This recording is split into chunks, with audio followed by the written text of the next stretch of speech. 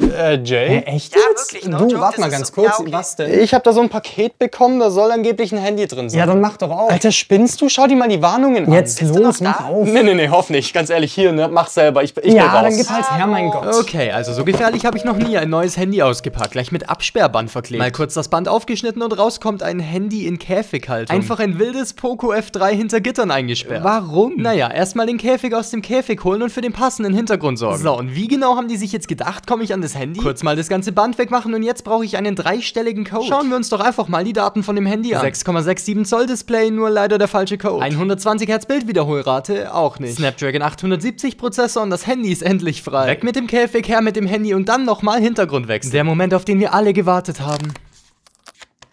Ist das nicht toll? Das Handy ist übrigens ein echter Spiegel. Der Preis von 330 Euro geht für das F3 echt schwer in Ordnung.